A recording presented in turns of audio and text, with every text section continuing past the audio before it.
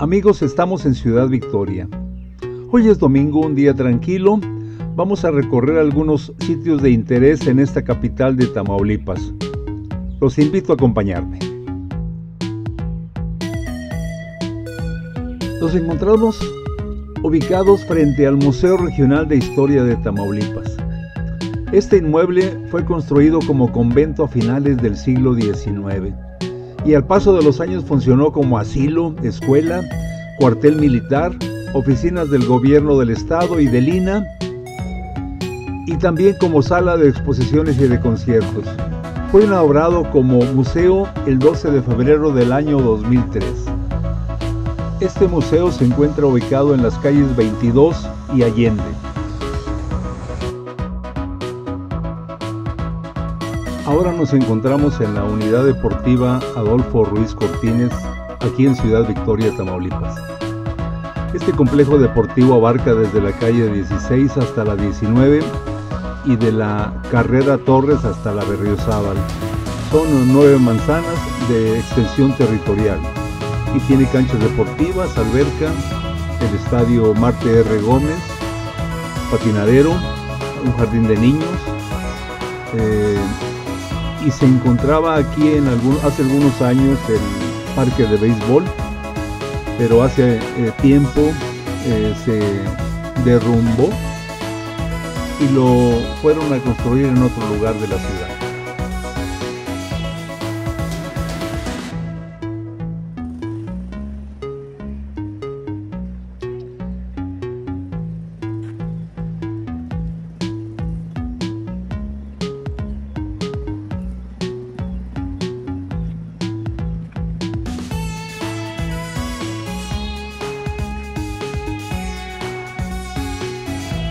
En este edificio se encontraba hace algunos años la biblioteca, una biblioteca pública.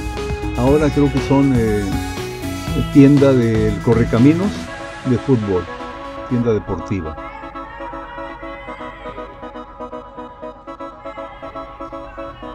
Aquí nos encontramos frente al jardín de niños que se encuentra aquí en esta unidad deportiva, que lleva por nombre Concepción García Manso, es la esposa del ex gobernador Treviño Zapata.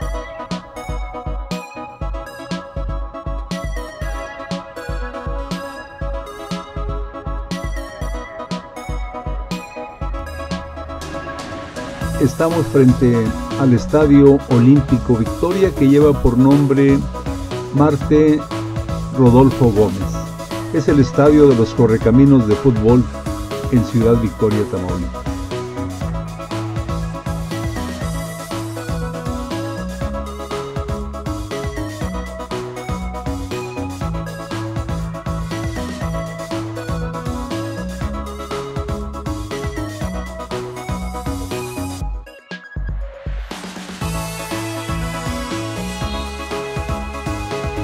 Pues ya nos encontramos dentro del estadio Marte R. Gómez, que fue inaugurado el 19 de octubre de 1939, ya cumplió 80 años. Aquí juegan los correcaminos, jugaban hace muchos años los cuerudos, un equipo de fútbol de la segunda división de aquí de Ciudad Victoria.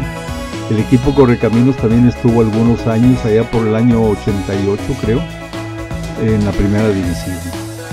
Este estadio siempre se dijo que fue construido eh, a semejanza de un estadio de Alemania, ya que el ingeniero Marte R. Gómez estuvo eh, como miembro del Comité Olímpico Mexicano y asistió a esos Juegos Olímpicos en 1936.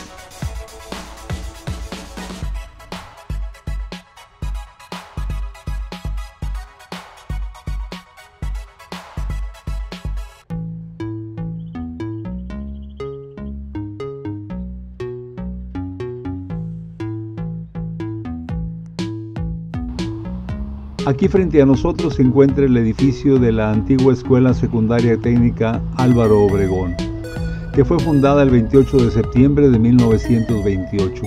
Ya cumplió 90 años y en esos años eh, era una escuela de instrucción militar para jóvenes que se consideraba en ese tiempo necesaria y era obligatoria.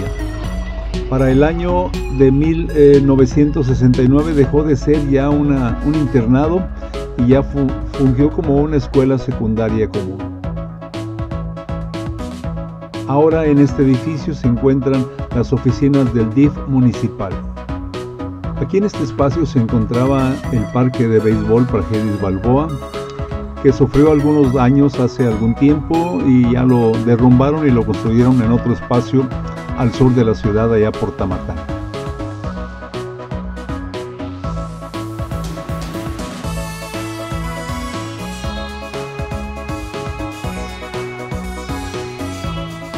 Aquí tenemos una panorámica del Estadio Olímpico Victoria Marte R. Gómez.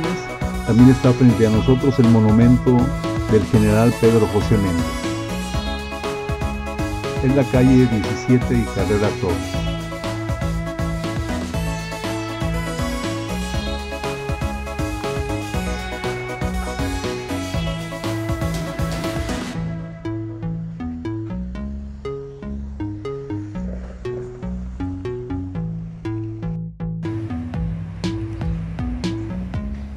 Pues aquí inicia la Alameda, la calle 17, que fue hace muy, poco tiempo remodelada y abarca desde la calle Carrera Torres hasta la calle Rosales por toda la avenida Francisco y Madero, calle 17.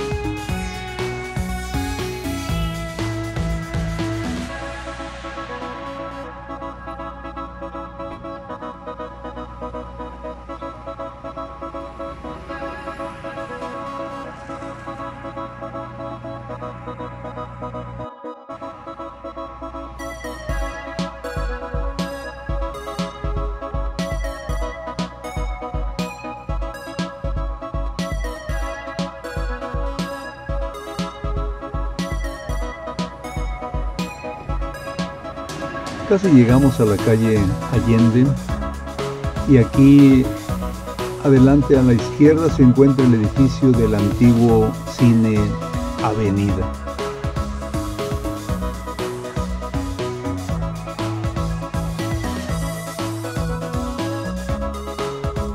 Ya casi llegamos a la calle Hidalgo y aquí a la derecha se encuentra el edificio de la Presidencia Municipal de Victoria que allá por el año de 1950 todavía funcionaba como el Palacio de Gobierno del Estado.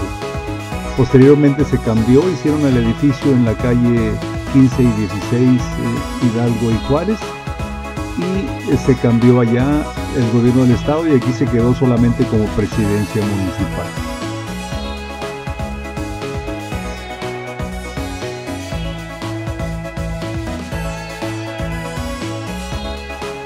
Bien amigos, pues hasta aquí llegamos con este video.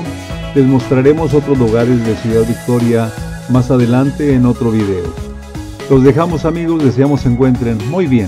Hasta pronto.